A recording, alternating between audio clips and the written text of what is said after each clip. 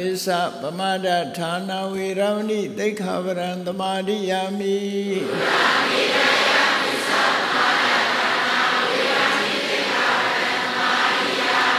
ဝေကာလဘောဇနာဝေရမဏိသိခာဝရံသမာဓိယာမိဝေကာလဘောဇနာဝေရမဏိသိခာဝရံသမာဓိယာမိနေသနေသဟိတဟိတဝါဒိတာ ဝါဒိတာဝိတုကဝိတုကဓတနာဓတနာမာလာကန္တမာလာကန္တဝိလေပနာဝိလေပနာဓာရဏဓာရဏနန္ဒနာဝိဘုဒနာဌာနဝေရမဏိတိခဗရံသမာဓိယာမိဝိဘုဒနာ ဥ္စာသေနမဟာသေနဝေရမဏိတိခဗရံသမာဓိယာမိဥ္စာသေနမဟာသေနဝေရမဏိတိခဗရံသမာဓိယာမိဣတရဏိနသဟအထင်္ဂသမနာကတံဥပောတထသီလံဓမ္မံသာရုကံကတဝအပမဒိနတမ္ပါဒိဋ္ဌ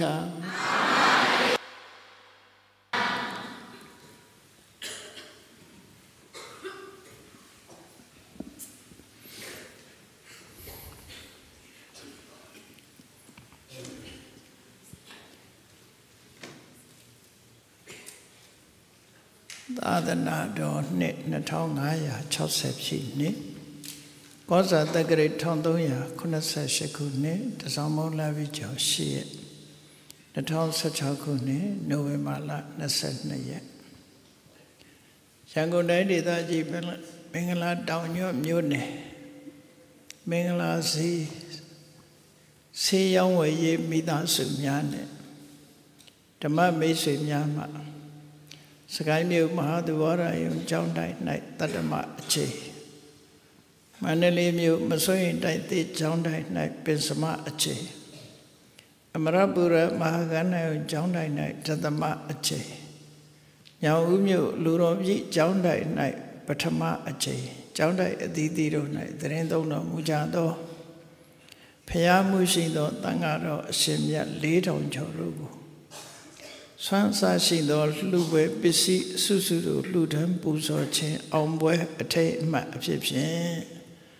စကိုင်းတိုင်းဒေသကြီးစကိုင်းမြို့မဟာသဘောရကျောင်းတိုက်မဟာသမယဓမ္မယုံကျောင်းတော်ကြီးတွင်ဆင်းကျင်းပပြုလုပ်အပ်သည့်ဓမ္မပူဇာသာသနာပူဇာဓမ္မသဘင်အခမ်းအနား၌ဟောကြားအပ်သောမိလိန္ဒမင်းနှင့် ရှင်နာကသေနာတို့ဤဗုဒ္ဓဝါဒရေးရာအခြေတင်ပြောဆိုချက်များအပိုင်း14တရားဒေသနာတော်ဒီနေ့ညဓမ္မသဘင်ခန္ဓာကိုရှင်ဘုန်းတော်သခင်ရှင်တော်မြတ်ဖရာ၏မဟာကရုဏာကုံကိုအာယုံပြုကာတိကျုဖွဲ့ဆိုအပ်သော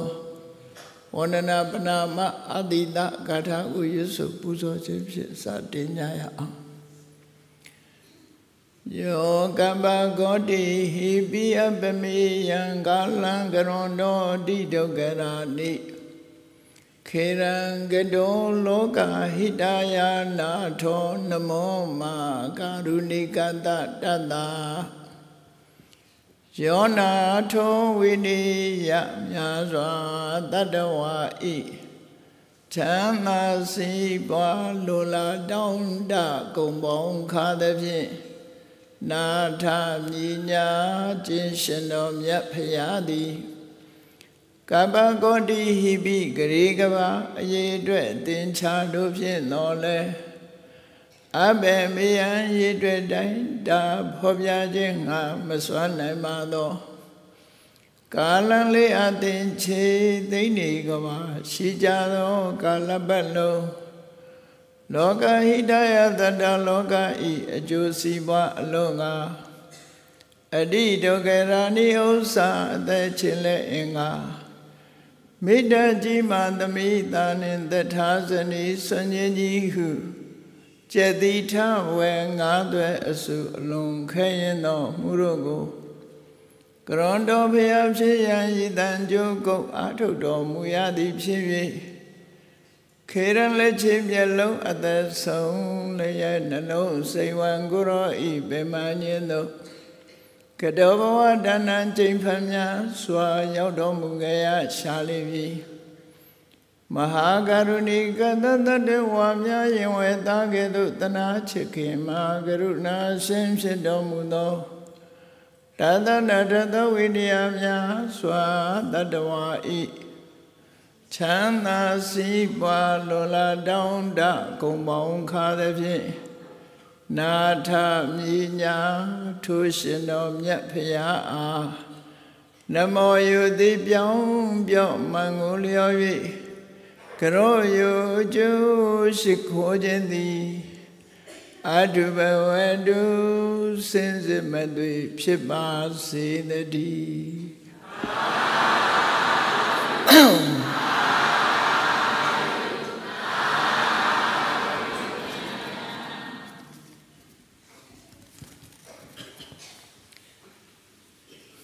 မိလိန်နာမင်းနှင့်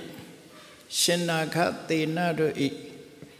ဗုဒ္ဓဝါဒရေးရာအခြေတင်ပြောဆိုခြင်းများမြန်မာနိုင်ငံမှာရှိတဲ့ပါဠိစာအုပ်တွေထဲမှာ ခုတ်ကနိကေဆိုတဲ့ကျမ်းထဲမှာနောက်ဆုံးဝင်လာတဲ့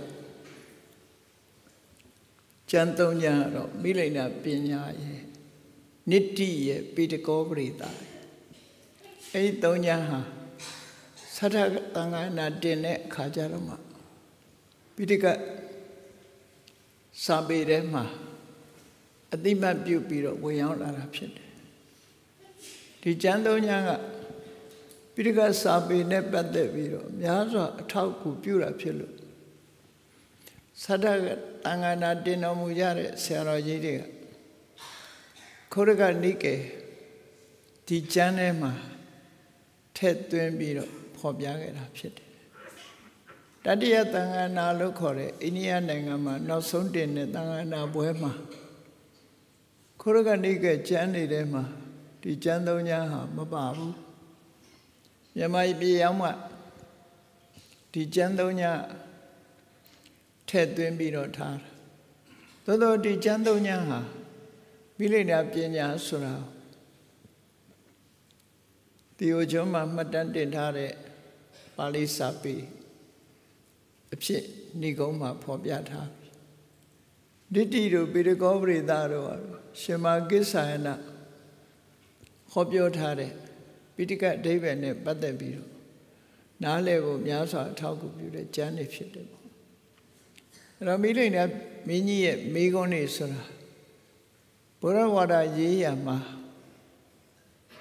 အထောက်ကူများစွာပြုတ်ပြီးတော့မှတ်သားစရာအချက်တွေများစွာပါရှိတယ်။တမန်အပြင်ဘုရားဝါဒရေးရနဲ့ပတ်သက်ပြီး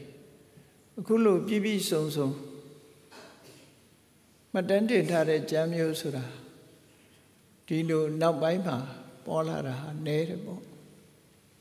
မြတ်စွာဘုရားသခင်ကိုရောမြတ်ကိုယ်တိုင်ဟောတဲ့အခါမှာလည်းပဲမြတ်စွာဘုရားဟာမေခွန်းတွေကိုဖြစ်ဆိုခြင်းဖြင့်ဟောထားတဲ့သုတ်တန်တွေများစွာရှိတယ်အဲ့ဒီမဲ့ဝေဒနာသုတ်နှစ်သုတ်ဆိုတာတော့အလွန်ထင်ရှားတယ်မေခွန်းနဲ့မေခွန်းတွေတက်လာလို့မေးပြီးတော့ဖြစ်ဆိုထားတဲ့ သုတ်တန်တွေကတော့ဝေဒနာသုတ်တင်မကဘူးတခြားသုတ်တန်တွေမှာလည်းပဲတော်တော်များများပါရှိတယ်အခုလိုအမေးနဲ့အဖြေနဲ့ရှင်းလင်းဟောပြောခြင်းဟာနားထောင်ရတဲ့ပုဂ္ဂိုလ်တွေဖို့အသိဉာဏ်တွေဖွံ့ဖြိုးတိုးတက်စေနိုင်တာတော့အမှန်ပဲဒါကြောင့်မို့အမေးဖြေစနစ်နဲ့ပညာရည်တိုးတက်အောင်ဆိုတာစ조사အထောက်ကြတယ်စာပေသင်တဲ့အခါမှာဥက္ကဟပရိပု္ပ္ပာဆိုတာ ဥက္ကဟဆိုတာစကလုံးကိုမှတ်ယူခြင်းအကြောင်းအရာတွေကိုမှတ်သားခြင်းသင်ယူခြင်းကဥက္ကဟမိမိမှတ်သားထားတဲ့အတိုင်းအကြောင်းအရာတွေနဲ့ပတ်သက်ပြီးမရှင်းလင်းတဲ့အချက်တွေကိုမေးမြန်းခြင်းကပရိပု္ပ္ပာအဲ့ဒီဥက္ကဟပရိပု္ပ္ပာဆိုတာစာပေသင်တဲ့နေရာမှာများစွာထောက်ကူပြုတဲ့ဤစနစ်နှစ်ခုဖြစ်လို့မိရိနာမင်းကြီးရဲ့ မေးမြန်းချက်နဲ့ရှင်နာဂတိနာတို့ရဲ့ဖြည့်ဆို့ချက်တွေဟာလွန်မှတ်သားပွဲဟာကောင်းပြီ။ဈာနာရသူဖတ်ရှုရသူတို့အတွက်ဘာသာရေးနဲ့ပတ်သက်တဲ့ဉာဏ်ဉာဏ်သွေးတွေတိုးတက်လာမှာတော့သိကြတယ်ပေါ့ဘုန်းကြီးတို့ရန်ကုန်မှာဟောခဲ့တာအလုံး30နဲ့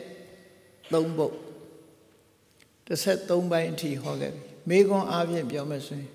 မိလိန်နာမင်းကြီးရဲ့မေခွန်ပေါင်း30ရှင်နာဂတိနာဖြည့်ဆိုထားခဲ့တာအဲ့ဒီမေခွန်30ရဲ့အဖြေတွေကိုဟောပြီးသားဖြစ်တယ်ပေါ့ဒီကနေ့ညဒီအပိုင်း14အနေနဲ့ဟောတဲ့အခါမှာမိလိန်နာမင်းကြီးရဲ့မေခွန်နဲ့30တခုမြောက်မေခွန်အဲ့ဒီမေခွန်ကို ဖြည့်ဆို့ထားပုံတွေကိုမှတ်သားနိုင်ယူကြပါဖြစ်တယ်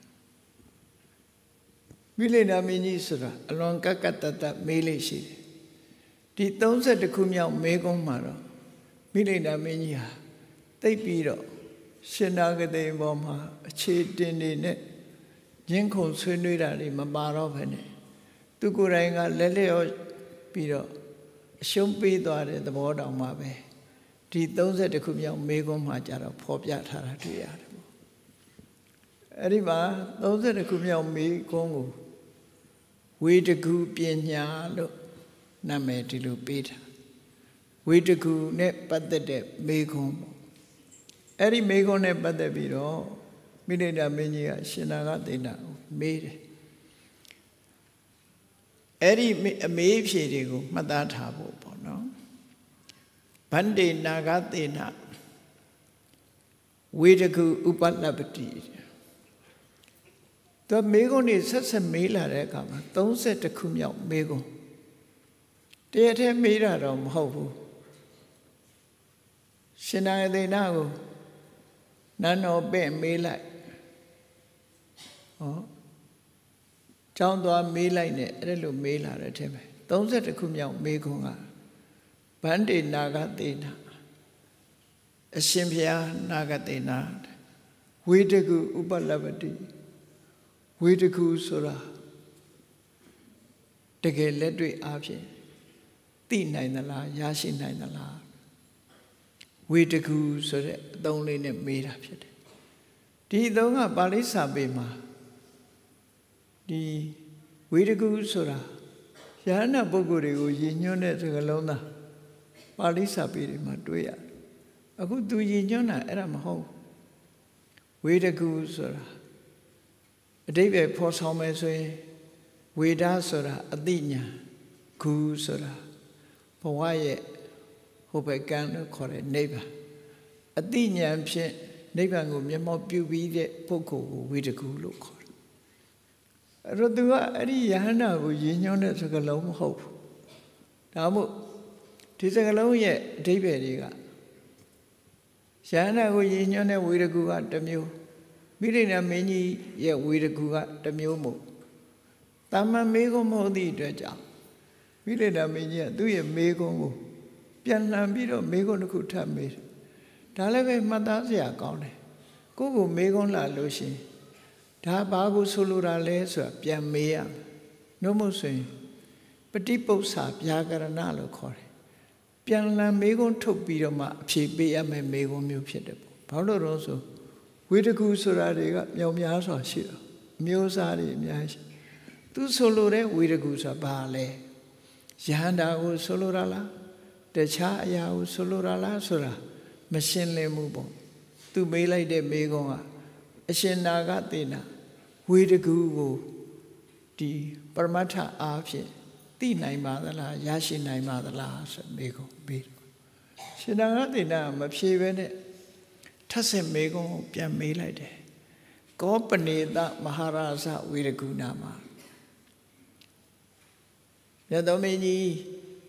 ဝေရကုဆိုတာဘာကိုပြောတာလဲအဲ့ဒါကိုကိုမေကုံမေးလာလို့ရှင်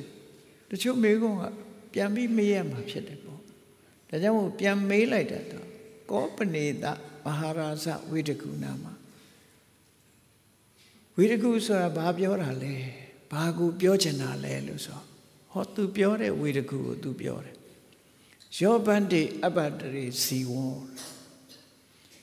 တရားရရဲ့တဏ္ဍမှာရှိတဲ့ဇီဝဆိုတဲ့အသက်မြန်မာလို့ဆိုရင် အတ္တအသက်လိပ်ပြဝိညာဉ်ကောင်းဆိုတဲ့ဇီဝဆိုတာဟာ ဒီအိန္ဒိယနိုင်ငံမှာလူတွေရဲ့စိတ်ထဲမှာဇီဝတင်ညီနောဟိမနုဿာရုက္ခတမိမြတ်စွာဘုရားကယဟန်တော်တွေကိုတစ်ပင်မခုတ်ရဘူးလို့ဝိနည်းတိကံပြည့်ညတ်တဲ့အခါမှာဒီစကလုံးလေးထည့်ပြောတာရှိတယ်အေးလူတွေကတစ်ပင်ကိုဇီဝရှိတယ်လို့ယူဆကြတယ်ဇီဝဆိုတာအသက်လို့ပဲပြန်လို့လည်းရတယ် အသက်မြန်မာလိုပြောတဲ့လိပ်ပြာတို့ဝိညာဉ်ကောင်းတို့နော်အတ္တတို့ဒါတွေကိုဒီနေ့ခေတ်မှာလည်းပဲဇီဝဗေဒဆိုပြီးတော့အလုံးသက်ရှိတတဝရိဒါမကအလုံးမှာဇီဝရှိတယ်လို့ယူဆပြီးတော့ဒီကနေ့ခေတ်သိပ္ပံမှာလည်းပဲဒီလိုသင်နေတာရှိတယ်ပေါ့အဲ့တော့ဇီဝဆိုတာ ਨੇ ပတ်သက်တော့ဝေဒကူကဘာကိုပြောလိုတာတော့ဆိုကောပနိတဝေဒကူနာမဆို ယောဘန္တိအပန္တရေဇီဝလူတွေရဲ့တဏ္ဍမှာတရားဝရရဲ့တဏ္ဍမှာရှိတဲ့ဇီဝကိုသူပြောချင်တာပါတဲ့ဇီဝဆိုတာမြတ်စွာဘုရားကအတ္တလို့သုံးတဲ့အရာပဲဖြစ်တယ်ဟောအတ္တအတ္တဆိုတဲ့စကားလုံးကိုအိန္ဒိယစကားလုံးနဲ့ပြောလို့ရှိရင်အတ္တမအဲ့ဒီအတ္တမဆိုတာဒီဟိန္ဒူတွေရဲ့ယုံကြည်ချက်ဆိုရင် အတ္တမဆိုတာနှစ်မျိုးရှိတယ်ပရမတ္တမနဲ့ဒီအတ္တမဆိုတာနှစ်ခုဗြဟ္မာကြီးကိုတော့ပရမတ္တမလို့ခေါ်တယ်ဗြဟ္မာကြီးကနေပြီးတော့လူတွေရဲ့တဏ္ဍမှာရှိတဲ့ဇီဝတွေကိုအတ္တတွေကိုဖန်ဆင်းပေးလိုက်တယ်အဲ့တော့ဗြဟ္မာကြီးရဲ့ဖန်ဆင်းရှင်ကြီးကိုတော့မဟာတမပရမတ္တမလို့ခေါ်ပြီးတော့သူကတော့တခုပဲရှိတယ် အဲ့ဒီကနေဖန်ဆင်းလိုက်တဲ့တရားတွေကြတော့ဇီဝတွေမြောင်များစွာဖြစ်ပြီဒီအတ္တကြီးကြီးဆိုရင် အကောင်ကြီးကြီးအတ္တသေးရင်အကောင်သေးသေးဆိုပါစို့ဆင်ရဲ့အတ္တဆင်ကောင်ကြီးကကြီးတာပွဲစိတ်ရဲ့အတ္တချသေးသေးလေးပေါ့ဒီလိုသဘောမျိုးယူဆကြအဲ့တော့အတ္တဆိုတဲ့စကားလုံးသုံးတာနဲ့ဒီမှာဇီဝဆိုတာနဲ့တူတူပဲလို့ဒီလိုမှားရဒါကြောင့်မို့ ဒီမိစ္ဆာဒိဋ္ဌိနဲ့ပတ်သက်တဲ့မေခွန်းတွေပါဆိုတန်စီဝံတန်တရိတံအဉ္ဉံစီဝံအဉ္ဉံတရိတံဆိုမေခွန်းတွေရှိတယ်ဇီဝနဲ့တရိရသည်တခြားလားဇီဝနဲ့တရိရသည်ဇီဝသည်ပင်တရိရတရိရသည်ပင်ဇီဝနှစ်ခုဟာတူတူပဲလားလို့သူတို့ယူဆကြဒီလိုမေးခွန်းနေမေးတဲ့မေးခွန်းနေမှန်သမျှမြတ်စွာဘုရားတခုမှမဖြေဘူး ဘာဖြစ်လို့လဲဆိုမြတ်စွာဘုရားအနေနဲ့ဇီဝအတ္တကိုလက်ခံထားတာမရှိဘူးရုပ်နဲ့နာနှမျိုးသာရှိတယ်ခန္ဓာ၅ပါးသာရှိတယ်ဇီဝတို့အတ္တတို့ရှိတာမဟုတ်ဘူးလူတွေရဲ့ထင်မြင်ယူဆချက်သာဖြစ်တယ်အဲ့တော့ယံအញ្ញံဇီဝံအញ្ញံတရိဒံဆိုတာဇီဝကတခြားတရိဒာတခြားဟောမြန်မာလူမျိုးတွေယူဆတာနဲ့ဆိုလို့ရှိရင်ဥပမာလူတယောက် လူတယောက်သေသွားတဲ့အခါကျတော့ရုပ်အလောင်းကြီးကြံရည်အဲ့ဒါတရိဒာအသက်ကထွက်သွားပြီးတော့နောက်ဘဝဝင်စားတယ်ဆိုလို့ရှိရင်ဟောဇီဝနဲ့တရိဒာတခြားစီဖြစ်တယ်ဇီဝကတော့မြဲတယ်တရိဒာကြီးကမမြဲဘူးအိုသွားတာတရိဒာကြီးကသာအိုတာဇီဝကအိုတာမဟုတ်ဘူးဒီလိုယူဆတာရှိတယ်နောက်တစ်ခုကျတော့ဇီဝနဲ့တရိဒာတူတူပဲ ခန္ဓာကိုယ်ကြီးပျက်စီးသွားရင်ဇီဝလည်းပျက်စီးသွားတယ်ဒါကဥစ္စေတာဝါဒခုနကအဉ္ဉံဇီဝံအဉ္ဉံတရိဒံကျတော့တတ္တဝါဒလို့ခေါ်တယ်ယံဇီဝံတံတရိဒံယံတရိဒံတံဇီဝံဆိုတဲ့အယူဆကြတော့ဥစ္စေတာဝါဒဇီဝပျက်စီးရင်တရိဒာလည်းပျက်စီးတယ်ဇီဝနဲ့တရိဒာအတူတူပဲလို့ဆိုတာဒါဥစ္စေတာဒိဋ္ဌိအဲ့တော့မြတ်စွာဘုရားရဲ့ဟောပြောဆုံးမချက်အရာဇီဝနဲ့တရိဒာဟာဒီ ဘယ်ဒီဇီဝဆိုတာကိုအရှိတရားလို့မြတ်စွာဘုရားဒီလက်ခံထားတာမဟုတ်သည့်အတွက်ကြောင့်ဇီဝနဲ့တရိဒတခြားစီလားတူတူပဲလားဆိုတဲ့တတ္တတမေခွန်းဥစေတာမေခွန်းတွေကိုလက်မခံဘူးအဖြေမပေးဘူးလို့ဆိုလို့ဒါတွေကဖြေလိုက်ရင်တခုလက်ခံရရောက်တော့မှာဒါကြောင့်မို့အဖြေမပေးတယ်နော်အဖြေမပေးဘူးဆိုတဲ့အဓိပ္ပာယ်ကအလွန်ထင်ရှားတယ်ဆိုပါစို့မရှိတာကို မိကုံထုတ်ရင်ဆိုပါစို့မိသားစုတူမှာဆိုပါအမျိုးသမီးတူမှာသားသမီးမထွန်ကားဘူးအဲ့တော့သူ့သားဟာအယပုဒလားအယထွားသလားလို့မေးလို့ရှင်ဘယ်လိုလုပ်ဖြေသားမှမရှိတာမရှိတဲ့သားကိုအယပုဒလားအယထွားသလားလို့ပြောလို့ဘယ်လိုလုပ်ဖြေလို့ရမရှိတာကိုမေးတယ်မေးကောနော်ကို့မှာကားမရှိဘူးအဲ့ဒီမရှိတဲ့ကားသည်မိထင်အင်္ဂလန်လား မိထင်ဂျပန်လားဆိုဘယ်လိုလုပ်ဖြေကို့မရှိတဲ့ကားမရှိမှမရှိတာကိုဖြေလို့ရတဲ့အရာမဟုတ်ဘူးဒါကြောင့်မဖြေဘူးဆိုတာအဲ့ဒီအတိတ်ပဲရှိတယ်ပေါ့နော်အဲ့တော့ဒီမှာလဲဇီဝနဲ့တရိရာဟာတခြားစီလားတူတူပဲလားအဲ့လိုမေးတဲ့မေကုန်းဟာဇီဝနဲ့တရိရာသည်တခြားစီလို့ဖြေလို့ရှင်ဥစ္စေရတတ္တဝါဒကိုလက်ခံရရောက်တယ်ဇီဝကမြဲတယ်တရိရာကမမြဲဘူး ဇီဝနဲ့တရိရာတူတူပဲလို့ဖြေလို့ရှင်ဥစ္စေရဝါဒကိုဖြေရရောက်တယ်အဲ့တော့ဒီနှစ်ခုကိုရှောင်လွှဲတယ်ပေါ့အဲ့တော့ဒီနေရာမှာအခုမိလိန်နာမင်းကြီးကသူပြောတဲ့ဝေဒကူဆိုတာတခြားမဟုတ်ဘူးတဲ့ယောအပန္တရေဇီဝ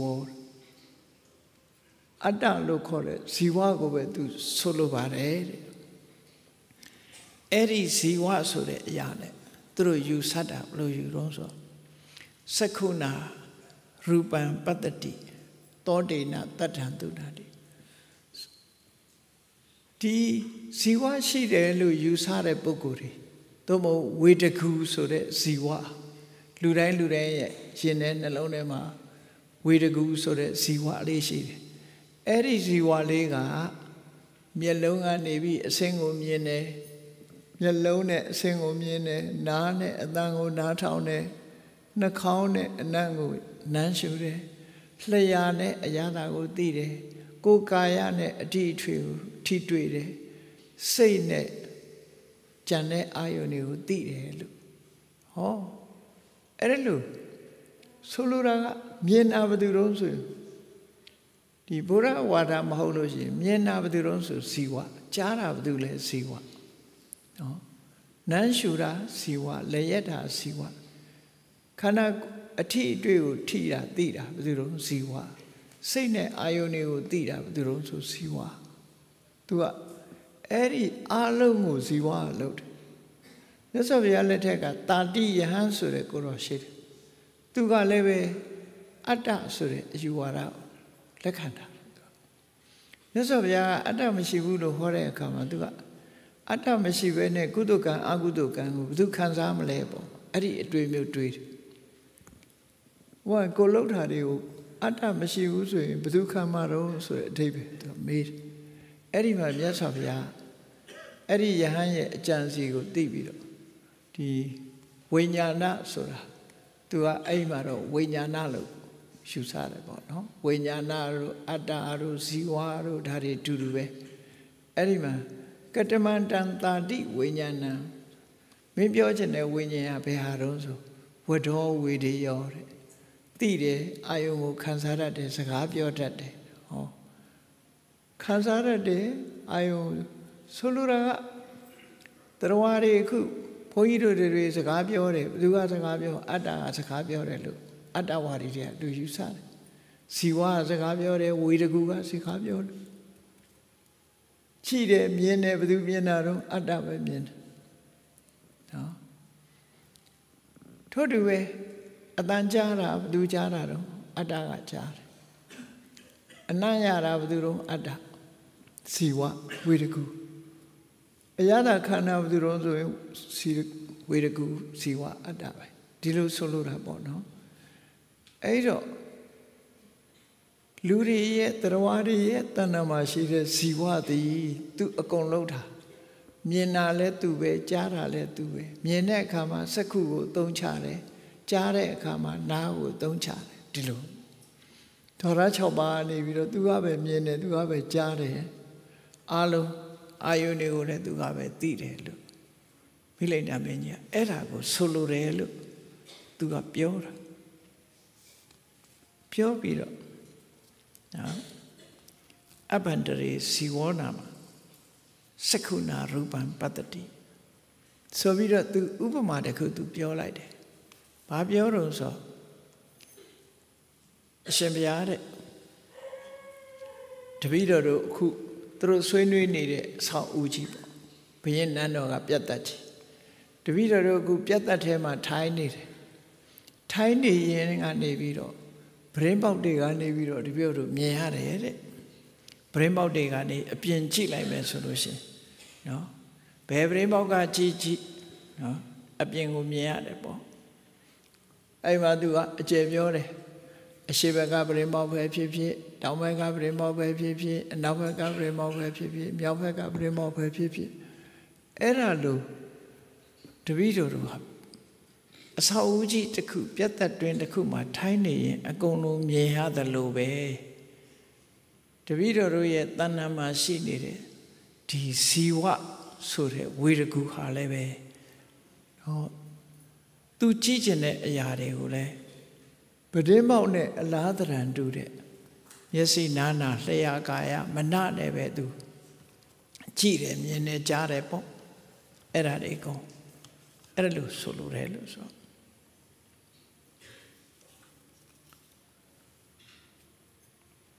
မိလိတ္တမင်းကြီးကသူ့ရဲ့အယူဆကိုအခုလိုတင်ပြတယ်နော်အဲ့ဒီလိုမြင်ရတယ်လို့ပဲဇီဝကအကုန်မြင်ရတယ်ပေါ့ အဲ့လိုပြောတဲ့အခါကျတော့ရှင်နာကတိနာဘာပြန်ပြောတော့ဆိုမင်းကြီးတဲ့ဒီနေရာမှာငါးဓာရအကြောင်းပြောကြမယ်စကုဓာရသောတာဓာရခန္ဓာဓာရစီဝဓာရကာယဓာရငါးဓာရအကြောင်းပြောမယ်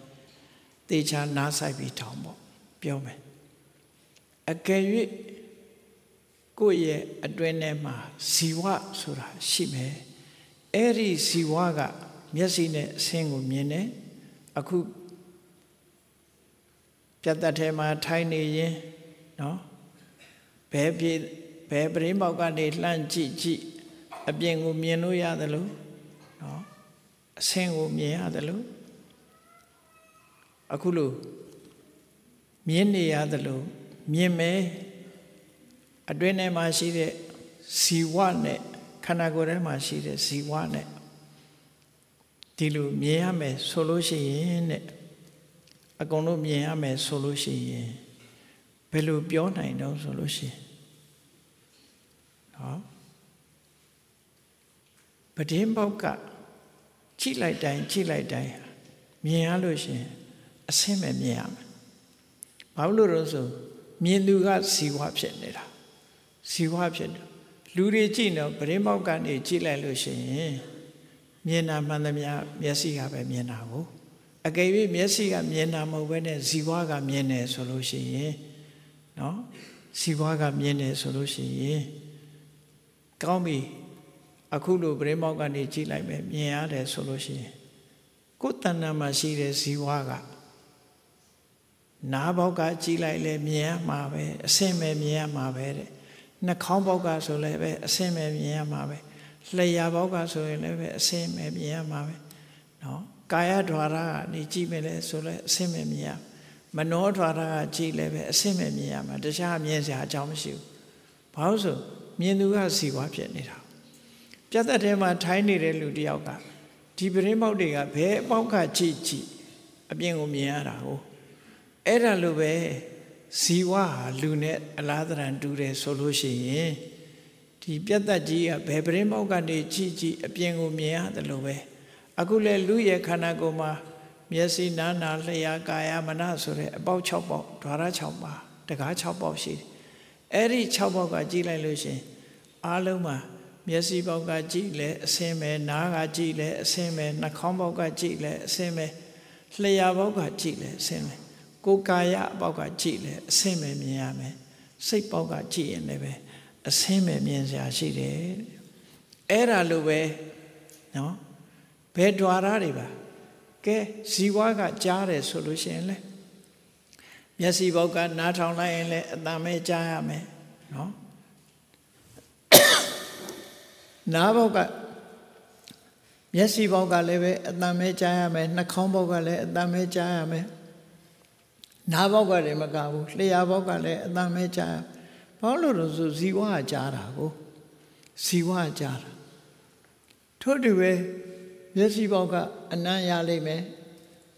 ဒီနှာခေါင်းပေါက်ကတည်းအနံ့ရမှာမဟုတ်ဘူးမျက်စိပေါက်ကလည်းအနံ့ကိုရမယ်ဒီနားပေါက်ကလည်းအနံ့ကိုရမယ်အလုံးဟာအနံ့တစ်မျိုးတည်းပဲရကြထို့တူပဲမျက်စိကနေပြီးတော့အရသာဆိုတာလဲသူ့ပဲရလိမ့်မယ်နားပေါက်ကလည်းအရသာပဲသိရ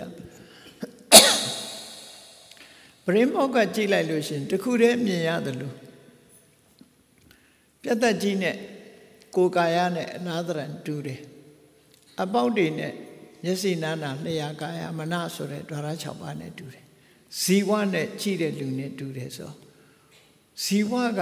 အကုန်မြင်နေဆိုရင်ဘယ်ပေါက်ကချီကြည့်အတန်ကြားရင်လည်းဘယ်ပေါက်ကဖြစ်ဖြစ်ကြားမှာပဲလေနော်ဘယ်ပေါက်ကဖြစ်ဖြစ်ကြားမှာ မြင်ရင်လည်းဘယ်ပေါက်ကပဲဖြစ်ဖြစ်မြင်မှာပဲ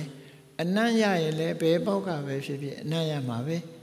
အရသာသိတဲ့အခါလဲဘယ်ပေါက်ကပဲဖြစ်ဖြစ်အရသာသိမှာပဲအထီးတွေ့ဆိုလို့ရှင်လဲဘယ်ပေါက်ကပဲဖြစ်ဖြစ်အထီးတွေ့ပဲသိမှာပဲကြံတဲ့အာယုန်တွေကိုသိဖို့ဆိုရင်လည်းပဲဘယ်ပေါက်ကဖြစ်ဖြစ်သိနေတော့မှာပဲတဲ့ဒါရှင်နာဂသိတာထောက်ပြတာနော်အဲ့ဒါလို့ သိမနေပေဘူးလားလို့ဆိုတော့မိဒိနာမင်းကြီးပါပြောနာဟိဗန္တိအဲ့လိုတော့မသိဘူးဗျာတဲ့ဟုတ်တယ်လေသူပြောတဲ့အတိုင်းဆိုရင်ဇီဝကမြင်တယ်လို့ပြောမယ်ဆိုရင် အကုန်လုံးကိုဇီဝကသိတာဆိုတော့ဘယ်ပေါက်ကကြည်ကြည်တစ်မျိုးပဲသိမှာလူရဲ့အပေါက်6ပေါက်ရှိတဲ့တဲ့ဘယ်ပေါက်ကသိအဲ့ဒါဆိုလို့ရှိရင်တစ်မျိုးတည်းပဲဖြစ်နေမှာပေါ့လို့ဆိုအဲ့လိုတော့မဖြစ်နိုင်ဘူးတဲ့ အဲ့တော့ရှင်မင်းကြီးရဲ့စကားရှင်းတော့မညီဘူးတဲ့တတိထားပြောပါရှင်မင်းကြီးဟာရှေ့စကားနဲ့နောက်စကားမကြိုက်တော့ဘူးတဲ့စောစောတုန်းကပြောတာဒီပြတ်သက်ထဲမှာထိုင်းနေရင်ကနေပရင်းမောက်ကနေပြီးကြည့်လိုက်တဲ့အခါမှာအကုန်လုံးမြင်ရတယ်လို့နော်ဒီလေးသာပရင်းပေါက်တွေအကုန်လုံးဖွင့်ထားရင်ဘယ်ပေါက်ကချီချီမြင်ရတယ်လို့မြင်ရတယ်လို့ပြောထားတယ်မဟုတ်လားစီဝါကမြင်တာဆိုရင် မြင်တာလဲဒီအပေါက်ပဲကြားတာလဲဒီအပေါက်ပဲအနံ့ရတာလဲဒီအပေါက်ပဲနော်နှာခေါင်းဟောလို့လို့ဆိုမြင်သူကြားသူဒီအနံ့ရသူလဲရသူထိထိသည်စိတ်တိသူဆိုတာဇီဝပဲဝေရကူပဲဖြစ်နေတာဟုတ်ဝေရကူဖြစ်နေတော့ဒီမျက်စိနာနာလျာကာယမနဆိုတာတကားပေါက်တွေပြတာဖြစ်တယ်ပေါ့အဲ့တော့ဘယ်ပေါက်ကဖြစ်ဖြစ်တူတူပဲဖြစ်နေမှာပေါ့တဲ့တေချာစဉ်းစားပြီးတော့ဖြေပါ မိလိုက်တာမင်းကြီးတွေးသွားတယ်အဲ့ဒီအချိန်မှာနော်တွေးသွားတဲ့အချိန်မှာရှင်နာကသိနာထပ်ပြီးမေးပြန်ထပ်ပြီးဥပမာတစ်ခုမေးတယ်ရှင်မင်းကြီးတဲ့ဥပမာတစ်ခုပြောမယ်တဲ့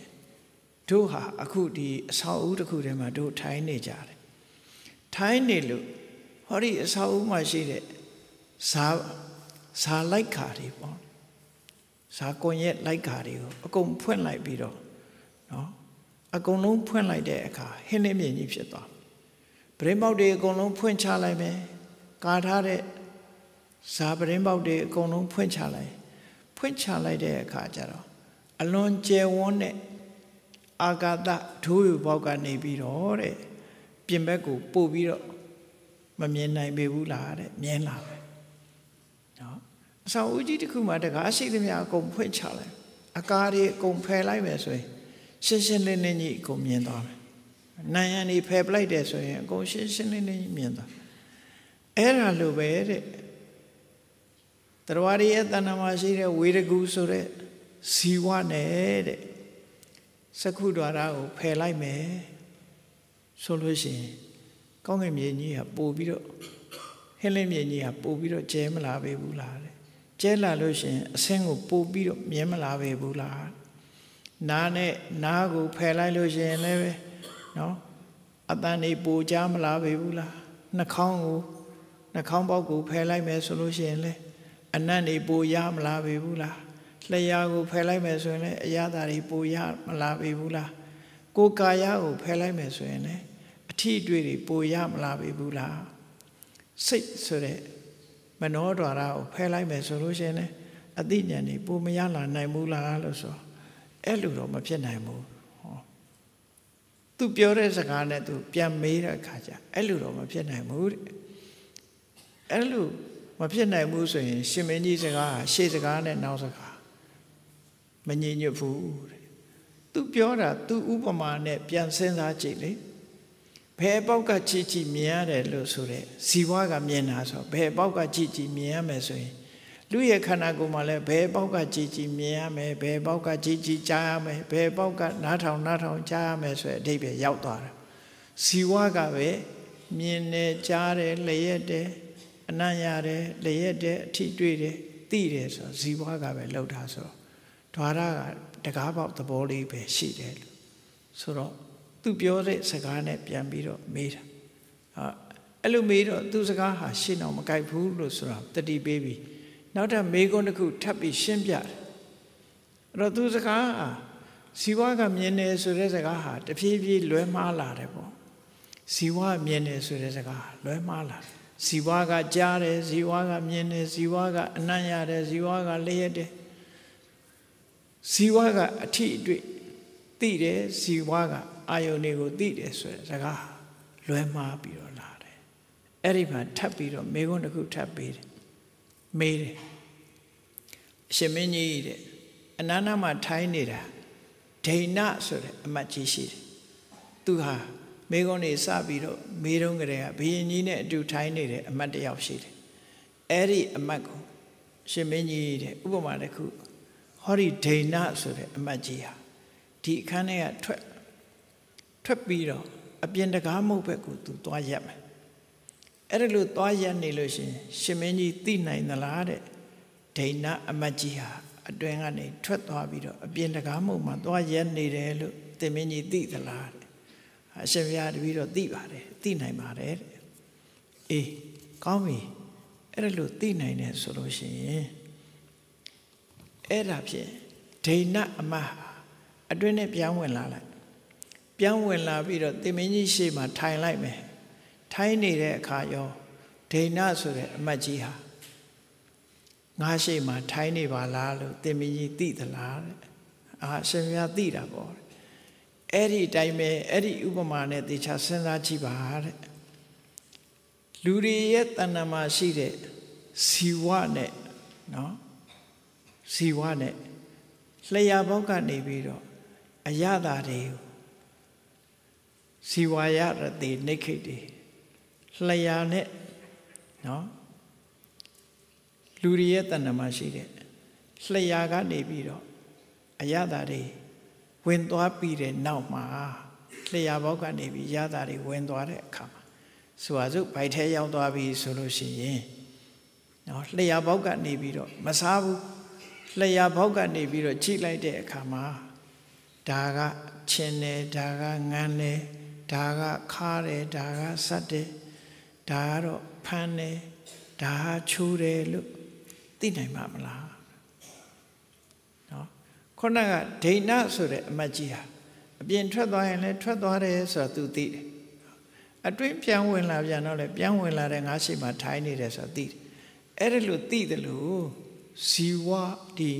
ဇီဝဆိုတဲ့ဝေတကူကနေပြီးတော့ဒီလျှာဘောက်ကနေကြည့်လိုက်တဲ့အခါမှာ နော်ဒီသူ့ဥပမာတော့ရှင်းရှင်းလေးရလျှာဘောက်ကနေကြည့်လိုက်တဲ့အခါမှာဒီအရသာကိုသိနိုင်သလားတဲ့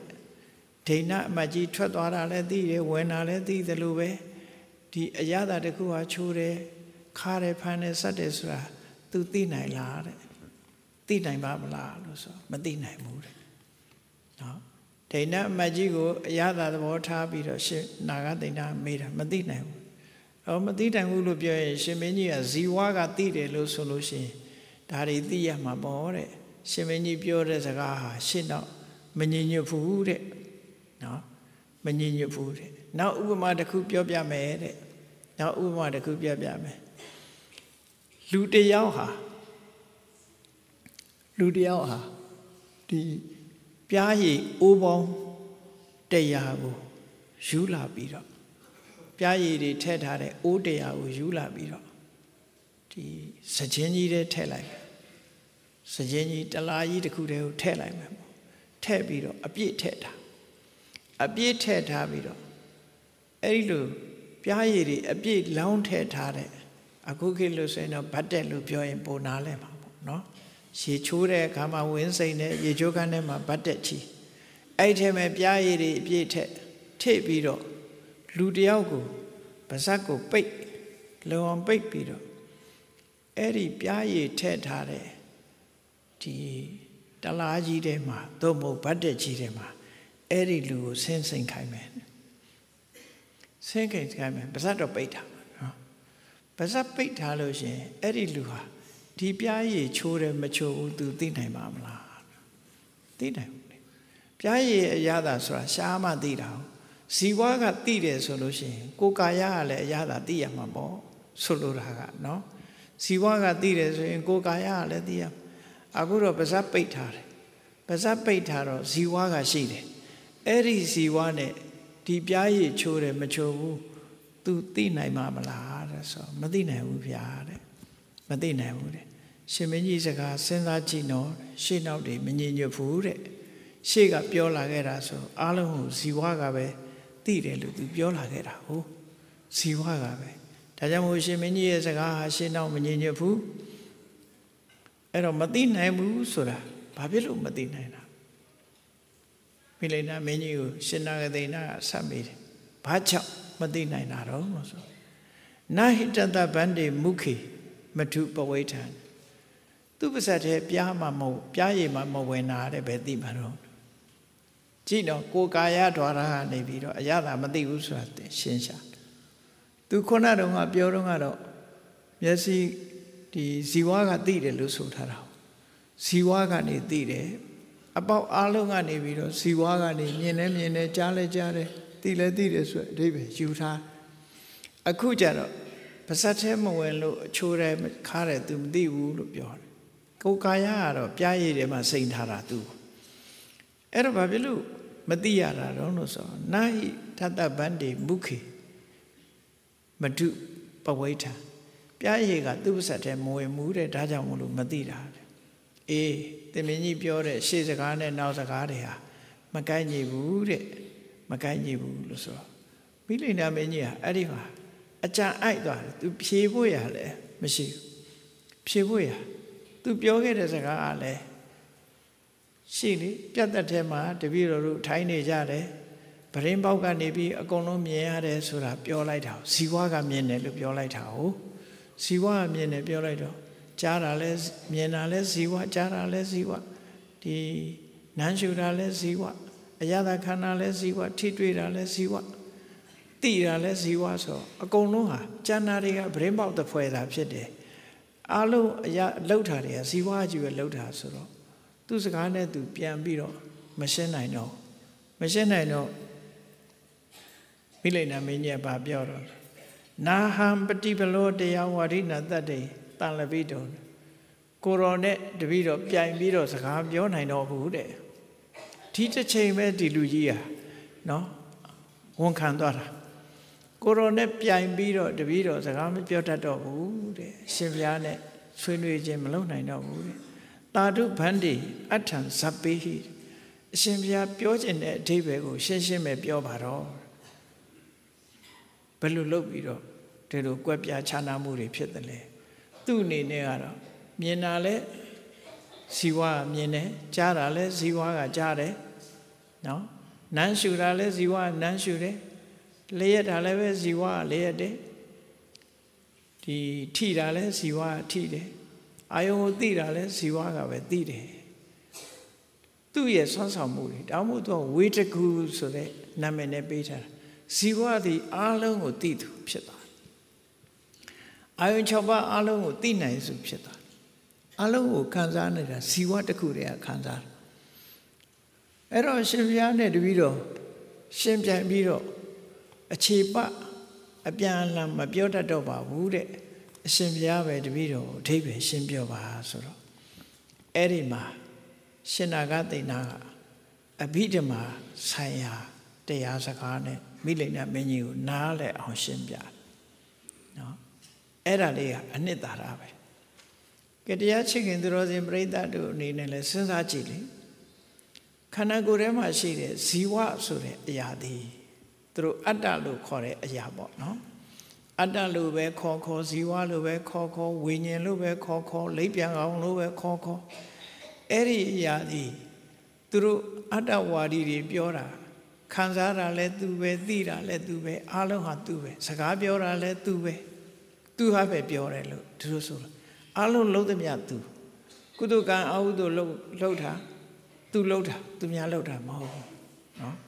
လူတွေကသာအပေါ်ရနာမည်တက်ပြီးတော့ဘသူလှုပ်တယ်လို့ပြောတယ် တကယ်ကတော့အတ္တလှုပ်တာအဲ့ဒီအတ္တကပဲလှုပ်တယ်အတ္တကပဲခံစားတယ်လို့အတ္တကိုဆွတ်ဆွတ်လန်းလန်းမှတ်ယူထားတယ်ဒါမို့တာတိယဟန်ကသူစဉ်းစားတာလေအေးကုသကံအကုသကံလှုပ်သူမရှိဘူးဆိုရင်အတ္တအတ္တမရှိဘူးဆိုလို့ရှိရင်ဒီကုသကံအကုသကံရဲ့အကျိုးကိုဘယ်သူခံစားမှာတော့ဆိုတော့ဒီတကားကဘုရားဘာသာတွေတောင်မှပဲရှင်းရှင်းလင်းလင်းနားလည်ဖို့အမတန်မှအရေးကြီးတယ်နော် ဒါမို့ဒီဝိသုဒ္ဓိမမှာဆိုရင်ဘယ်လိုရေးထားတော့ဆိုကမ္မတကာရကောနတ္ထိဝိပါကတ္တသဝိရကောဟောကံတရားကိုပြုလုပ်သူဆိုတာမရှိထိုပြုလုပ်တဲ့ကံကြောင့်ရရှိလာတဲ့အကျိုးကိုခံစားသူဆိုတာလည်းမရှိဘူးဆိုလိုတာကကံကိုပြုလုပ်တတ်တဲ့အတ္တဆိုတာလည်းမရှိဘူး ကံရဲ့အကျိုးကိုခံစားတဲ့အတ္တဆိုတာလည်းမရှိဘူးဒါဖြင့်ဘယ်လိုလုပ်ပြီးတော့လွတ်သူနဲ့ခံစားသူဆိုတာကိုသိရတယ်လဲဆိုသုဒ္ဓဓမ္မပဝတ္တန္တိတဘာဝတရားတွေတက်တက်ဖြစ်နေအကြောင်းတရားတွေဖြစ်ပေါ်နေတာကိုပဲလှုပ်တယ်လို့လူတွေကထင်ကြတယ်အကျိုးတရားပေါ်တာကိုပဲခံစားတယ်လို့ထင်တာတဲ့သုဒ္ဓဓမ္မပဝတ္တန္တိ တဘာဝတရားတက်တက်အကြောင်းနဲ့အကျိုးများတာဖြစ်ခြင်းပဲဖြစ်တယ်တဲ့ဧဝိတံသမ္မာတတနာအဲ့ဒီလိုမြင်မှသမ္မာဒိဋ္ဌိမှန်ကန်တဲ့အမြင်ဖြစ်တယ်လို့ဆိုတာဒါကဝိပဿနာဉာဏ်နဲ့ကြည့်ပါဘုရားဘာသာတိုင်းတောင်သဘောပေါက်ချင်မှပေါက်အောင်မယ်နော်ဘာဖြစ်လို့တော့ဆိုရင်ဆွဲလန်းနေမှုကအမတန်များတယ်ကိုယ့်ကိုစဉ်းစားကြည့်စကားပြောတာဘယ်သူပြောတာလဲနော်ပြောရင်ငါပြောတယ်လို့ပြောမှာပဲ စကားပြောသူကဘယ်သူလဲနော်စကားပြောသူဘယ်သူလဲခံစားနေတာဘယ်သူလဲအလုံးလုံးနေတာဘယ်သူလဲလူတွေပြောမယ်ဆိုရင်ငါလုပ်တယ်ငါခံစားတယ်ငါစကားပြောတယ်ဒါပဲပြောမှာပဲအဲ့တော့တဘာဝတရားအနေနဲ့ရှာမတွေ့တော့ဘာပြောတော့ဆိုလှုပ်သူကလည်းအတ္တနော်ခံစားသူကလည်းအတ္တဆိုအလုံးဟာအတ္တတွေအတ္တကပဲခံစားတယ်အတ္တကပဲသိတယ်အတ္တကပဲ အခုပြောတဲ့ဝေတကူဇီဝမြန်မာတွေရှူဆွဲတဲ့လိပ်ပြဝိညာဉ်ကောင်းဝိညာဉ်ကောင်းလေးကလုံနေတယ်ပေါ့အတွင်းထဲမှာရှိအဲ့တော့အဲ့ဒီသဘာဝတရားကိုကြာကြာနာနာစဉ်းစားကြည့်ဖို့လိုတယ်ဒါကြောင့်မို့မိရိဏမင်းကြီးရဲ့မဖြေရှင်းနိုင်တဲ့ပြဿနာကိုရှင်နာဂတိဏအဘိဓမ္မာသဘောနဲ့ပြန်ဖြေရှင်းပြအဘိဓမ္မာနဲ့ဆက်ဆက်ပြီးတော့ရှင်းပြတော့အဘိဓမ္မာလို့ဆိုရင်မြတ်စွာဘုရားဟောထားတာသုတ်တန်နေတဲ့မှာလည်းပါပါတယ် သူကဘာနဲ့ရှင်းပြတော့ဆိုသက္ခုံစပဋိစ္စရူပေစဥပ္ပစ္စတိသက္ခုဝိညာဏနော်မျက်စိနဲ့အစင်းဆုံလိုက်တယ်မျက်စိနဲ့အစင်းဆုံလိုက်တဲ့အခါမှာဘာပေါ်လာတော့မြင်သိစိတ်ပေါ်လာတယ်မျက်စိမှိတ်ထားမယ်ဆိုရင်အစင်းနဲ့မျက်စိနဲ့မဆုံဘူးနော်မျက်စိမှိတ်ထားမယ်ဆိုရင်မျက်စိနဲ့ကိုရှိမှပန်းပွင့်ရှိနေပေမဲ့လို့ကိုမမြင်ဘူးနော် ပန်းပွင့်လေးမြင်လိုက်တာနဲ့ငါပန်းပွင့်မြင်တယ်ဆိုမြင်သိစိတ်ပေါ်လာတယ်လေအဲ့တော့မျက်စိကလည်းဖွင့်ထားတယ်အစင်းအာယုံကလည်းလာဆုံတယ်ဒီနှစ်ခုဒီဝတ္ထုနဲ့မျက်စိကဝတ္ထုအစင်းကအာယုံဝတ္ထုနဲ့အာယုံဆုံလိုက်တဲ့အချိန်လေးမှာမြင်သိစိတ်ဆိုတာလေးပေါ်လာတယ်စက္ကုဉ္စိတ်လေးဘယ်နေရာမှာဒီဟာလေးဟာရှိနေတာမဟုတ်ဘူးဆိုပါစို့စီတီးတယ်ဆိုပါစို့ ခေါင်းလောင်းတီးလိုက်တယ်ပေါ့နော်ခေါင်းလောင်းတီးလိုက်တဲ့အခါမှာခေါင်းလောင်းနဲ့တီးတဲ့ထုပ်နဲ့ထိလိုက်တဲ့အချိန်လေးမှာခေါင်းလောင်းတန်ထွက်လာတယ်အဲ့ဒီခေါင်းလောင်းတန်ဟာငကိုကခေါင်းလောင်းထဲမှာရှိနေတာလားသို့မဟုတ်ဒုတ်ထဲမှာရှိနေသလားဆိုဘယ်နေရာမှမရှိဘူးတီးလိုက်မှပေါ်လာတာနော်စောင်းတီးတယ်ဆိုလို့ရှိရင်လည်းစောင်းအိုးထဲမှာလည်းအတန်ရှိတာမဟုတ်ဘူးစောင်းကြိုးထဲမှာလည်းအတန်ရှိတာမဟုတ်ဘူးတီးတဲ့လက်ထဲမှာလည်းအတန်မရှိဘူး ဟောတီးလိုက်တဲ့အခါကျတော့မှသာအတန်လေးထွက်လာတယ်အဲ့ဒီသဘောကိုပို့ပြီးတော့ရှင်းညင်လို့ရှိရင် gas မီးချဖူးလေးကိုကြည့် gas မီးချဖူးလေးထဲမှာမီးမရှိတာသေချာတယ်နော်အခိုးလည်းမရှိဘူးပူလည်းမပူဘူးဘယ်နေရာကင်ကြည့်ကြည့်ပူတာမရှိဘူးအခိုးလည်းမရှိဘူးသို့တော့အဲ့ဒီ gas မီးချစ်လေးကိုလက်နဲ့ဖိချစ်လိုက်တဲ့အခါမီးတော့လေးပေါ်လာအဲ့ဒါဘာကြောင့်အကြောင်းကြောင့်ဖြစ်ပေါ်လာနော် နောက်ထပ်အကြောင်းတစ်ခုလိုတာအကြောင်းတစ်ခုထပ်ထည့်လိုက်တာ ਨੇ ဖြစ်လာထို့တူပဲမျက်စိနဲ့အစင်းဆုံလိုက်သည့်အတွက်ကြောင့်မြင်သိစိတ်မြင်သိစိတ်ပေါ်လာတဲ့အခါတိဏ္ဏသင်္ကတိဖတ်တော်လို့ဆိုတဲ့အတိုင်းမြင်သိစိတ်ပေါ်လာတဲ့အခါမှာဘာတွေပါလာတော့ဆိုရင်ဖတ်တာပါလာတယ်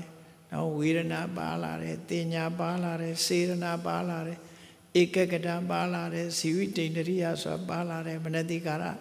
သဗ္ဗစိတ်တတတရဏစေတသိက်ခုနှစ်ခု စိတ်ဖြစ်လိုက်တာနဲ့တပြိုင်နက်စေတသိက်တွေဟာတခါတည်းပါလာဒီလိုဆိုလို့တယ်နော်ဒါမြင်ပုံလေးကိုပြောမလို့ဘာကြောင့်မြင်တာတုံးဆိုတာဇီဝကမြင်တာမဟုတ်ဘူးမျက်စိနဲ့အစင်းအာယုံကိုလားဆုံလိုက်တဲ့အခါမြင်သိစိတ်လေးဘွားကနေပေါ်တာအဲ့ဒီမြင်သိစိတ်လေးသည်ဝေတကူမဟုတ်ဘူးဇီဝမဟုတ်ဘူးအတ္တမဟုတ်ဘူးမြင်သိစိတ်ဟာစိတ်သာဖြစ်တယ်ပေါ့နော်နန္တရားသာဖြစ်တယ် အဲ့ဒီမြင်သိစိတ်လေးနဲ့အတူပါနေတော့ဆိုအာယုန်နဲ့ဆက်သွယ်ပြီးတဲ့ဖတ်တာခံစားတဲ့ဝေဒနာမှတ်သားတဲ့သိညာစိတ်ဆော်ပြီးတဲ့စေရနာနော်စိတ်ဆော်ပြီးတဲ့စေရနာတည်ငြိမ်ပြီးတော့အာယုန်တစ်ခုတည်းစုပြီးတဲ့ဧကဂတဒီအသက်ဆက်ပြီးတဲ့ဇီဝိတိန္ဒြေအာယုန်ဘက်ကိုဥလက်ပြီးတဲ့မနတိကာရဆိုတဲ့စေရသိက်သဘောတရားတွေဟာစုပြီးတော့ပေါ်လာအဲ့ဒီလိုပေါ်လာပြီဆိုတော့ မှမြင်တယ်ဆိုတာပေါ်လာတာတဘာဝတရားမြောက်များစွာပေါင်းစပ်လိုက်တဲ့အခါမှာမြင်တယ်ဆိုတာပေါ်အဲ့တော့ဒီခြားထဲမှာဇီဝဆိုတာဘယ်ဟာခေါ်တာတော့မရှိဘူးဇီဝဆိုတာမရှိဘူးဒီစိတ်စေရသိက်တွေတောင်မှမျက်စိနဲ့အစင်းအာယုံဆုံချင်းကြောင့်ပေါ်လာတာမဆုံရင်မပေါ်ကိုယ်အိမ်မှာစောင်းလေးတစ်ခုတင်ထားကြည့်ပါလားဇဝဲပေါ်မှာမတီးရင်အတန်ထွက်ပါမလားမထွက်ဘူးတီးမှအတန်ထွက်တာ မိချစ်ဖူးလေးဟာလည်းဘယ်တော့မှဖိမချစ်မချင်းမီးဟာဘယ်တော့မှမတောက်ဘူးထို့တူပဲအကယ်၍သာဒီထဲမှာပဲရှိနေတယ်ဆိုရင်တောက်မှာပေါ့သူတောက်ချင်တဲ့အချိန်ထတောက်မှာပေါ့နော်အဲ့ဒီလိုမဖြစ်တယ်အဲ့တော့မျက်စိနဲ့အစင်းဆုံခြင်းကြောင့်ဒီမြင်သိစိတ်ပေါ်တဲ့မြင်သိစိတ်ပေါ်တဲ့အခါမှာဖသဝေဒနာတင်ညာစေရနာဧကဂတဇီဝိတေနရိယမနတိကာရဆိုတာတွေပေါ်လာတယ်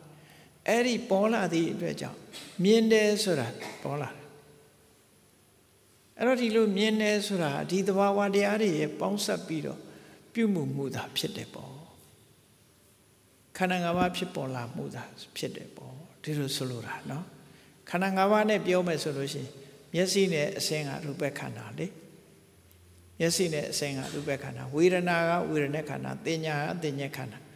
ကြံတဲ့ဖတ်တာစေရနာဧကဂတာဇီဝိတေနေမနတိကာရအသင်္ခါရခန္ဓာ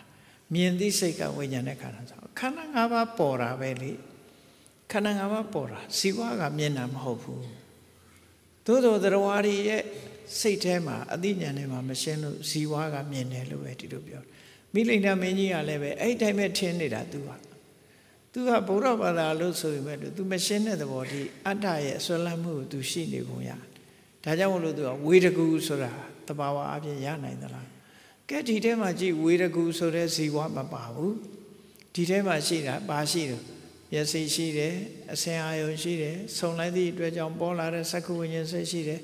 သက္ကုဝိညာဉ်စိတ်နဲ့ရှင်တွဲလာတဲ့ဖတ်တဝေဒနာတင်ညာစေရနာရဲ့ဒါဇီဝိတ္တိတွေမနတိကာရစေရသိတ်တွေရှိတယ်အလုံးပေါင်းလိုက်တဲ့အခါမြင်တယ်ဆိုတာဖြစ်လာတယ်ဒီလိုဆိုလို့လေနော်အဲ့တော့ဇီဝဆိုတာမရှိဘူးယုံနဲ့နာနှစ်ခုပဲဖြစ်တယ်ဆိုသဘောပေါ်လာတယ်ခုနက ဝီရကူကမြင်တယ်လို့သူကပြောတယ်အေးအဲ့ဒီတိုင်းပဲရှင်နာဂသေတာကဆက်ပြီးတော့ရှင်းပြတယ်ဒီမှာတဲ့ဧဝမေတေဓမ္မာပစ္စယတော်ဆာယန္တိအခုပြောခဲ့တဲ့တရားတွေဟာအကြောင်းကြောင့်ဖြစ်လာတာတွေကြီးပဲအကုန်လုံးမျက်စိနဲ့အစင်းဆုံခြင်းကြောင့်သက္ကဝိညာဉ်စိတ်ဖြစ်တယ် သက္ကဝိညာဉ်စိတ်ဖြစ်သည့်အတွက်ကြောင့်ဖာသဝေဒနာတင်ညာစေရနာဧကဂရဇီဝိတင်တွေမနတိကာရဆိုတာတွေဖြစ်တယ်ဖြစ်သည့်အတွက်ကြောင့်မြင်တယ်ဆိုတာဖြစ်လာတယ်ဟောအကြောင်းတရားတွေကပေါင်းစုံပြီးတော့ဒါဖြစ်ပေါ်လာတာဒါဖြစ်တယ်ပြီးရင်ချုပ်သွားကြမရှိကြတော့ဒါဝိပဿနာဉာဏ်နဲ့အဘိဓမ္မာသဘောတရားအရာဒီလိုရှုရမယ်ခန္ဓာကိုယ်ထဲမှာမြင်တတ်တဲ့အကောင်မရှိဘူးလို့ဆိုလိုတယ်နော်ဒီသဘာဝတရားတွေပေါင်းစပ်သွားတာသာဖြစ်တယ် ကဲကြားတယ်ဆိုတာဘယ်သူကြားတာလဲဒီထဲမှာခုနကဇီဝဆိုတဲ့အတ္တကကြားတယ်ဝေရကူကကြားတယ်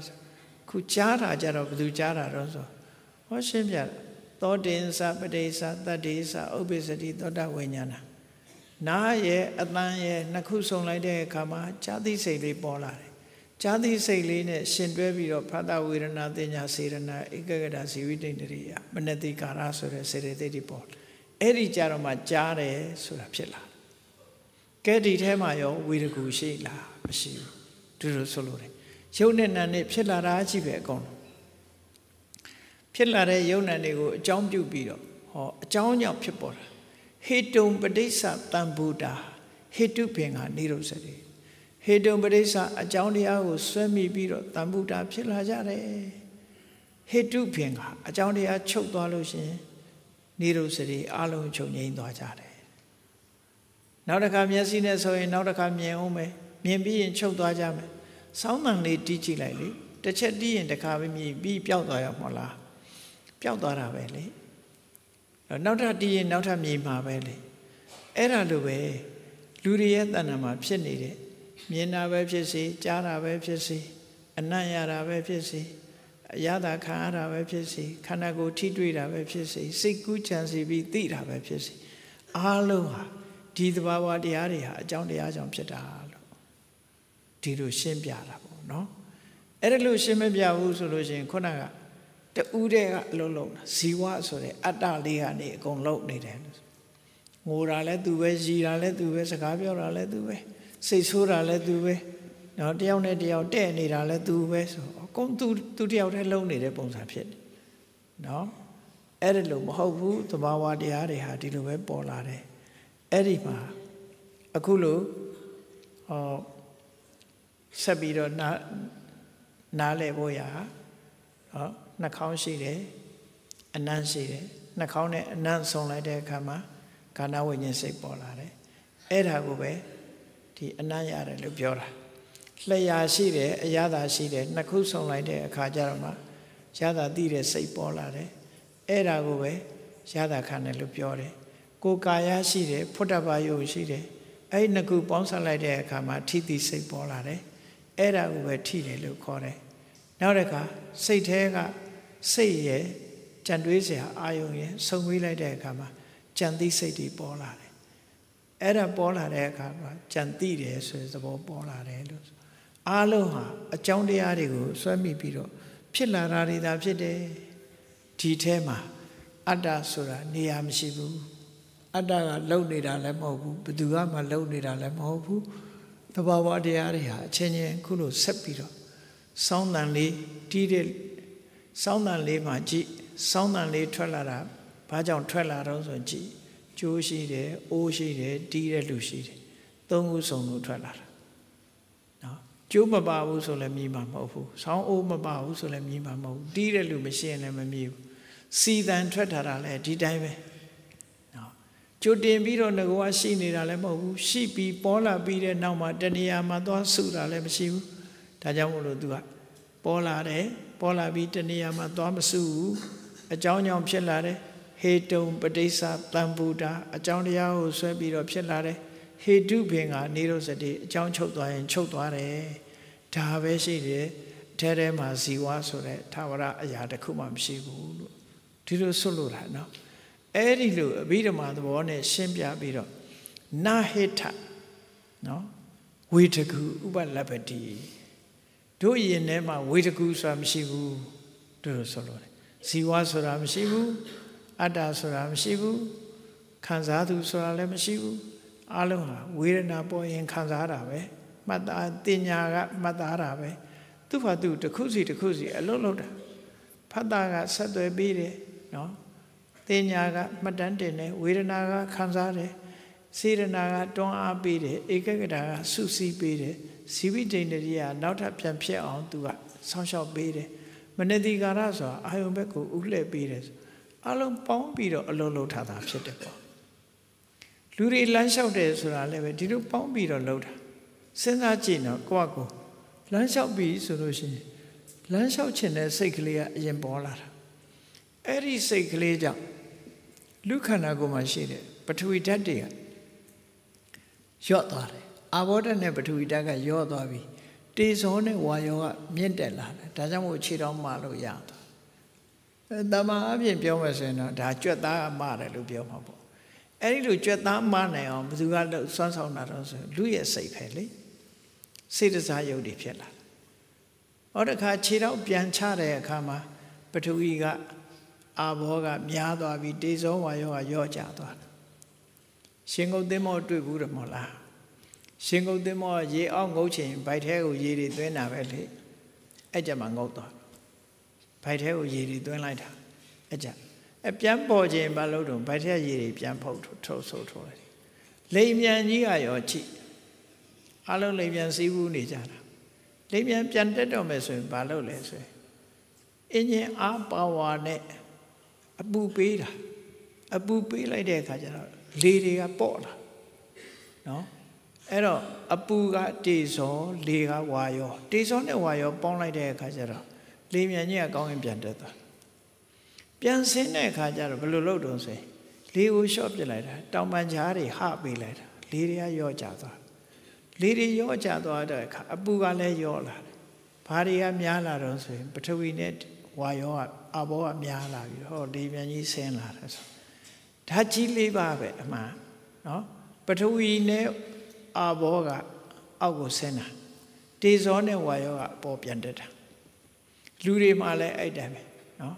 လေဖြတ်သွားရင်ထတော့မထနိုင်တော့ပြီးရောဝါယောပြတ်သွားပြီဆိုရင်အဲ့ဒါကြောင့်မလို့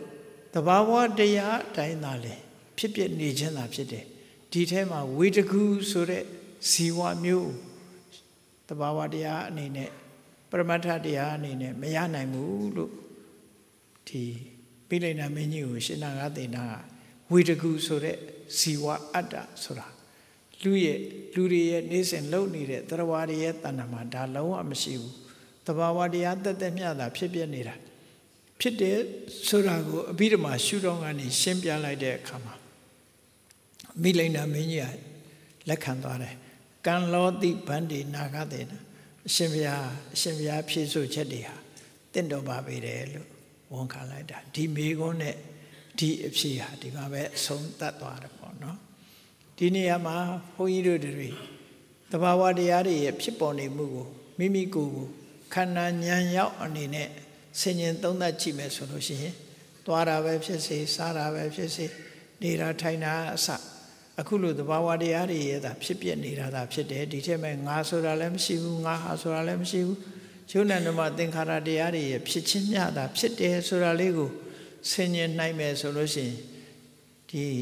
ဝိပဿနာဉာဏ်ဘက်ကိုဥလိနေတဲ့အသိဉာဏ်တွေဖြစ်ပေါ်လာမှာဖြစ်တယ်အဲ့ဒီလိုဖြစ်ပေါ်လာတဲ့အခါကျတော့မှအမှန်တရားကိုသိပြီးတော့ တွေ့တာမှုတွေလျှော့ချနိုင်မှာဖြစ်တယ်တွေ့တာမှုတွေရောကြမှာတောကဆိုတာလည်းကင်းပြီးရှင်တွင်းမှာအေးချမ်းမှာဖြစ်တယ်ရှင်တွင်နှလုံးသားရဲ့အေးချမ်းမှုလူလာတဲ့ပုဂ္ဂိုလ်တွေအားလုံးအားလုံးဟာမြတ်ဗုဒ္ဓရဲ့အဆုံးအမတိုင်းအဘိဓမ္မာသဘာဝရှုံဏသဘာဝကိုဆင်ញင်စဉ်းစားခြင်းဖြင့်သာလဲ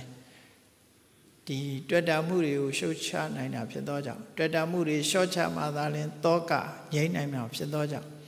သဘာဝတရားတွေတက်တက်မြင်အောင်မိမိတို့ရဲ့အသိဉာဏ်နဲ့အဖန်မှန်စဉ်းစားပြီးတော့ဆင်ញင်သုံးသပ်ပြီးဝိပဿနာအမြင်မျိုးရအောင်ကြိုးစားအားထုတ်နိုင်ကြပါစေကုန်သတည်း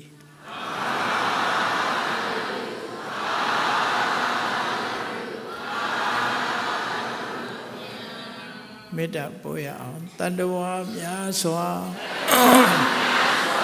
ဘေးရန်กว่า ချမ်းသာကြပါစေတတဝများစွာပေရန်กว่าချမ်းသာကြပါစေမေတ္တာရေချမ်းသုံးငါဖြံငြိမ်းချမ်းကြပါစေ မေတ္တာရေချမ်းသုံးငါဖြံနေကြံကြပါစေသက်ရှိကြမ်းမာစိတ်ချမ်းသာလူရဆန္ဒပြည့်ပါစေသက်ရှိချမ်းသာ စိတ်ချမ်းသာလူရဆန္ဒပြည့်ပါစေဓမ္မောတရံပိဝိတဝနဝိသာတပိတမှုဟတာအာဇရမရာတိတိဘာဝံနိဗ္ဗာနံယန္တုတာရောဓမ္မောတရံလောဘဒေါသမောဟစိတ်တောကင်းပြောင်းကြည်အေးတရားစေကို ပိဝိတဝဝန္တာရှင်ပြတောက်ကြရနာကြရကုန်သောကြောင့်ဝိသာတပိပု္ပ္ပာမျက်နှောကိလေသာအစရတောက်ဟုသမျှတို့သည်သမုဟတာပိဉ္ကြဘဲတွင် ရေမတင်တဲ့ကဲ့သို့ကင်းစင်လွင်ပြောင်းပေမရအောင်ပယ်ဖြောင်းအကုန်သည်ဟွန်တုစင်စစ်မသွေဖြစ်ကြပါစေကုန်သတည်းအာဇရမရံအိုခြင်းလဲကွာနာခြင်းလဲကင်းသေးခြင်းလဲရှင်းထသော တိတိဘောကိလေသာဟုဘုခသိင်ကင်းငြိမ်းရာအစစ်ဖြစ်ပေထသောနိဗ္ဗာန်နိဗ္ဗာန်ဟုခေါ်အေးမြူတော်သို့သာရောတရားချစ်ခင်စိတ်ကောင်းဝိညာသူတော်စင်များတို့သည်ယန္တုပါရမီအစဉ်စဉ်မြင့်နေမြင်၍မလင့်ပုံသေးဆက်ရောက်တော်မူကြပါစေကုန်တည်း